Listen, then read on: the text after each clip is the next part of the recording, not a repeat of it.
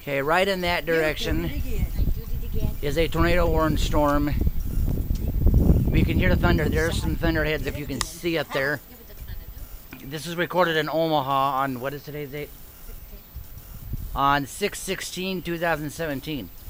Hello, Mary. Hello, Dork.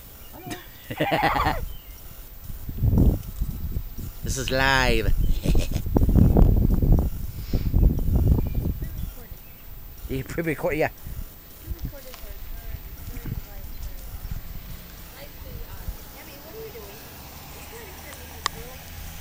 She's trying to figure out what Uncle Joe's doing. Here's a boo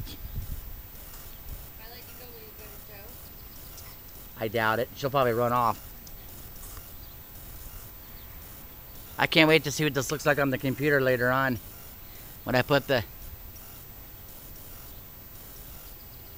See right there, you can see that you can see the storm clouds building. It's, it's coming, folks.